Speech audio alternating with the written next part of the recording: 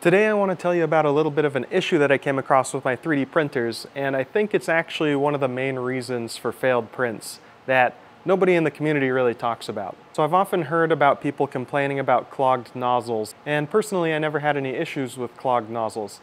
So it got me thinking, what are these people doing differently that I'm not doing? In the process of traveling with these 3D printers and using them on the road, I think I figured it out. So it all started when I was filming an episode of this K1C and I was in a stream or a river and I dropped my filament into a puddle of mud. So I rinsed off the mud as best I could in the stream that I was working in there and put it back on the 3D printer and started the print up and everything was working fine. Until about 30 minutes into the print, I started getting a clogged nozzle, the filament wasn't coming out properly, and it caused some really weak and failed parts.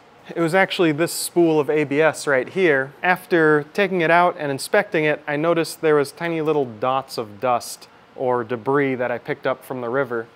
This is an actual spool of filament from this makerspace that's just kind of been sitting out. You can see all these tiny little dust particles. And let's take a look under the microscope as well to see if we can see anything else. LinkMicro sent me this microscope to check out and it's really nice because I can record things in 4K so I'm getting a little bit better resolution and I can see finer details and share that with you all on YouTube. And also it can record audio. Having some scratch audio on this device will make it easier to synchronize all of my audio and video together so you know it's just a really convenient thing to have. But enough about the microscope. Let's take a look at this filament and get some extreme close-ups on what the dust and debris on your filament looks like and how that compares to a typical 3D printer nozzle. So right away you can see these dust particles. They look absolutely massive at this magnification, but let's even get a little bit closer to see what they look like uh, very close up. So under extreme magnification you can see what this dust looks like. It looks like a bunch of dots of poop or kind of wood fibers.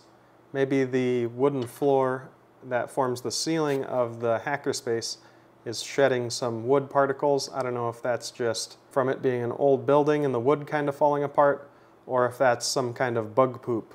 In any case, it's kind of gross. It could also just be dirt from people walking around outside that gets caught in between the planks of wood. And then as things get worked loose, they fall through the ceiling and onto the filament in the floor below. But there's all sorts of gross looking stuff in here. Maybe there's like little bug mite parts as well. So this could be anything from dust and dirt to particles that are shed off of fabrics and clothing to human hair. And the thing about all of these materials is they're going to have a much higher melting point than the filament that you're extruding.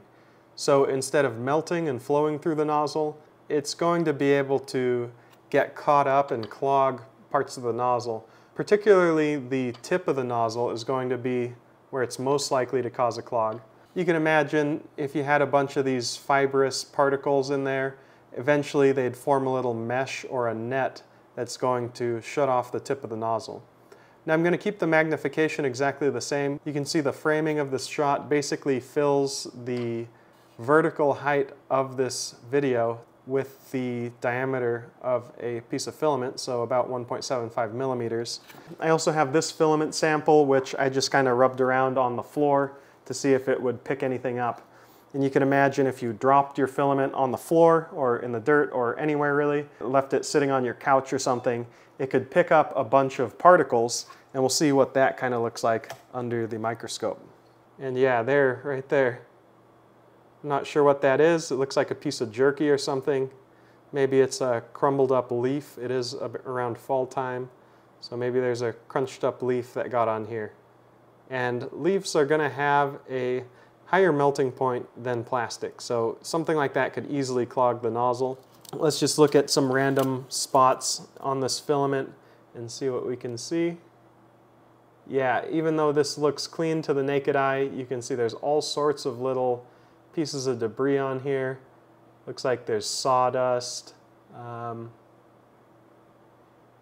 probably a bunch of pieces of human skin.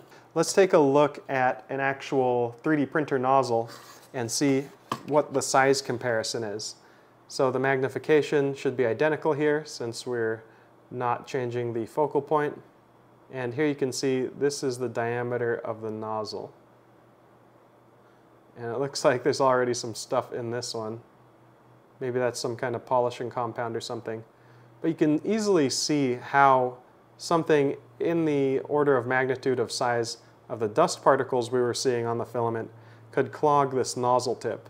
Because at the same magnification, basically those fibers can bridge the entire uh, width of the nozzle. So it seems like the number one failure case for 3D printers is clogged nozzles, and that all comes from the filament. The filament captures little particles of dust, and over time that gets fed into the extruder, into the hot end, and then all those little dust particles eventually form a clog in the tip of the nozzle.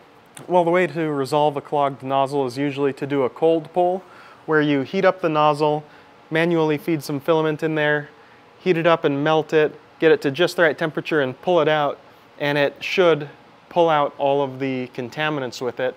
And after doing that, the printer was running just fine.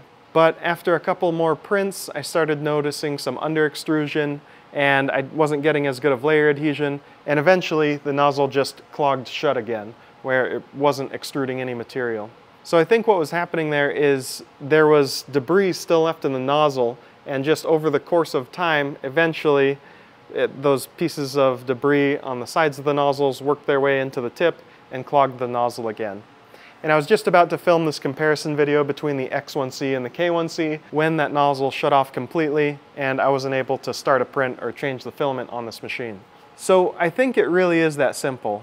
The number one reason for failed prints is clogged nozzles and the number one cause of clogged nozzles is debris on the filament. Some steps you can do to make this less of an issue is use some sort of device that encloses your filament in the case of this Bambu Lab AMS, that does a great job of keeping the dust away. Another way around this is to use a larger diameter nozzle. So it's pretty standard for people to use 0.4 millimeter nozzles. But I think upgrading to a 0.6 millimeter nozzle, in addition to having some speed and flow benefits, should be hugely beneficial in preventing nozzle clogs because it'll take longer for that nozzle to clog up. Just the number of particles required to completely shut it off will be larger. And additionally, it'll just pass through a lot of the potential clog sources. I'm thinking that the reason why I've never had an issue with this before is because I have a relatively clean workspace. Despite all of the random clutter, there's very little dust and I always use a HEPA filter in my printing environment to keep dust out of the air. So the air is very clean and despite me having open spools of filament, I don't have issues with dust settling on there and causing issues that way. So that's just a little insight that I've gained over the course of the last month where I've been traveling and printing in less than cleanly environments. If you have your printer set up in a garage or someplace where there's a lot of dust, like this level one hackerspace that I'm currently working in, a lot of dust comes down from the ceilings. Just take a look at my bag here. This is from me setting the bag down once and it's picked up all this dust. It's kind of an issue in this workspace. So in a situation like this, you're definitely going to want to have something like this AMS unit that has a full enclosure for your filament that'll keep dust away from everything. And this also has a lot of downstream effects. If a printer doesn't have the best heat break, experiencing a nozzle clog can cause that heat break to fail, where the filament will just be sitting in one spot for a long time, the filament wheels will be grinding and not feeding properly, and eventually heat creep will work its way up and seize up the plastic inside of the heatsink, which then cools off and then forms like a plug above the heat break where it can't push the filament through even after you've replaced the nozzle. In the case of this Creality K1C, they've moved over to their unicorn style nozzle, which has the heat break integrated into the nozzle assembly. So let's say you had a clog that caused it to sit at high temperatures for a long period of time. Then you had heat creep. Well, when you remove and replace that nozzle, that'll take out that entire heat break and you'll basically throwing the clog away. Same with the Bambu Lab X1C. They have the heat sink, heat break, and nozzle all in one assembly. So you just unscrew it, take that out, throw it away and replace it, and you completely get rid of the problem. On older designs that had the nozzle separate from the heat break and the heat sink, you could run into an issue where the nozzle clogs and it's like, okay, well, I'll just replace the nozzle. You put the new nozzle in there and then you try to print again, but due to a failed print that could have been like 12 hours long, the extruder was trying to push filament in there for a long period of time, but it was just sitting stationary at temperature. The heat will eventually work its way up that filament and into the heatsink area where it melts it a little bit, and then it solidifies and causes a somewhat permanent clog, which can only be removed by doing some special procedures like heating up the actual heat break and then force feeding it through but that's never ideal. You never want to be in that situation.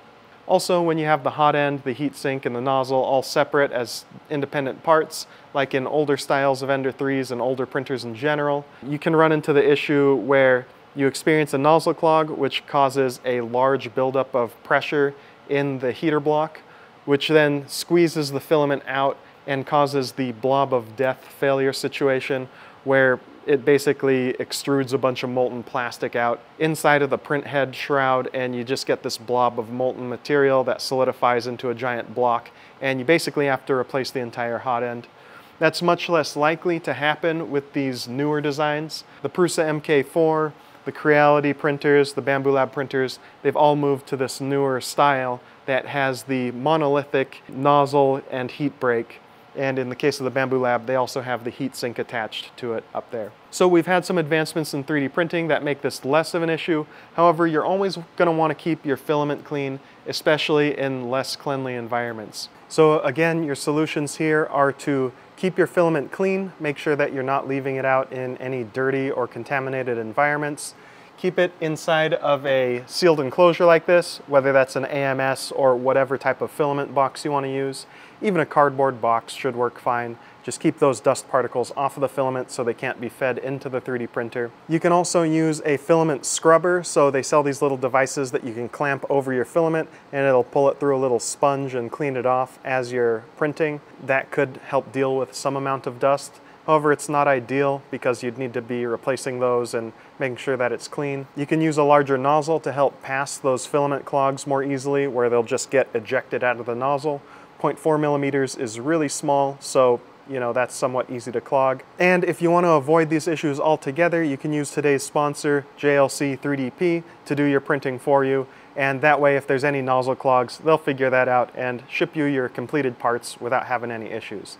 With JLC 3DP, you can print with a variety of different print processes, whether that's FDM, SLA, SLS, you know, you can get parts made out of metal. So it's just a bunch of really good options. And with JLC's other services, you can also make PCBs and CNC machined parts. So big thanks to JLC 3DP for sponsoring this episode. And uh, yeah, what are the takeaways here? So the takeaway to me is if you ever drop your filament or get it dirty somehow, it's going to be much better to just throw that away instead of risking it and risking a nozzle clog because in the best case, it'll completely clog the nozzle and you'll know you'll have a problem. In the worst case, it can constrict the nozzle and cause under extrusion, which will give you really weak parts and you might not even notice it. If you have contaminated filament, it's going to be much easier for you to just replace that spool. Just pull that sucker out of rotation and open a new pack of filament. It's only about $12 to get a brand new one kilogram spool of PLA online. So just buy that and you'll prevent yourself from having issues with your 3D printer that might require more replacement parts and more extensive repair. Doing a nozzle change is a process that takes some time. It's just annoying to have to deal with that stuff and it's gonna be much better to just replace the filament. Now what you could do instead of throwing this type of filament away is put it in a contaminated box and that'll be filament that you know might have some kind of debris on it and just run that in your larger diameter nozzle printers.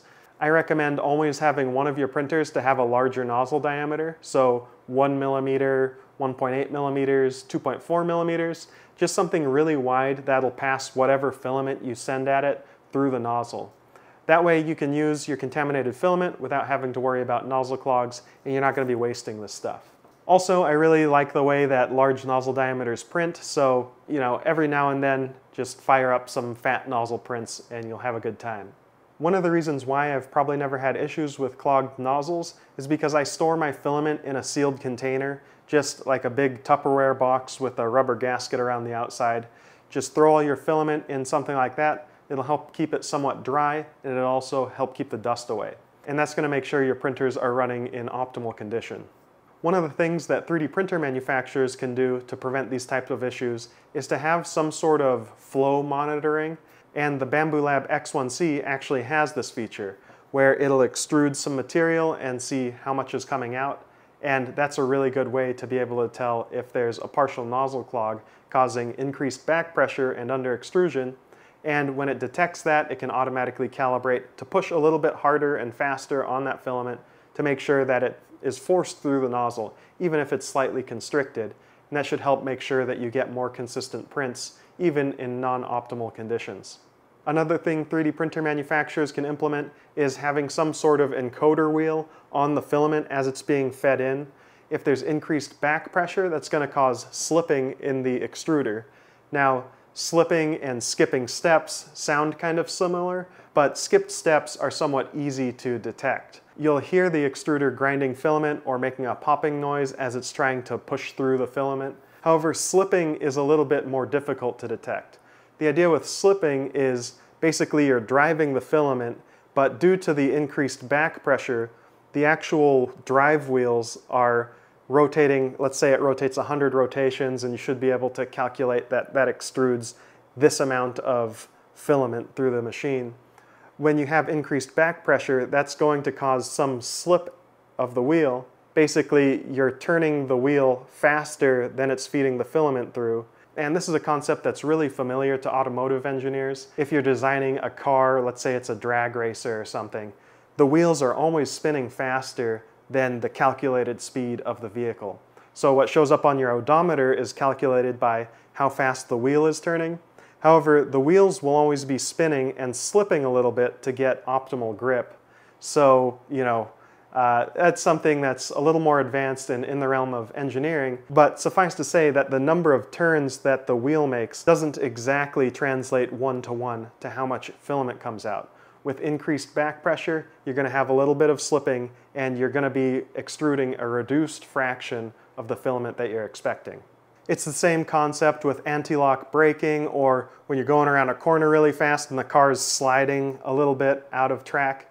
You need a little bit of slip to get the maximum grip. And when you get increased back pressure in the hot end, it's going to cause a little bit of slipping so that it can produce enough force to push through that back pressure. It's kind of uh, esoteric and maybe I can do a future deep dive into that concept in a future video, but yeah, that's the basic concept.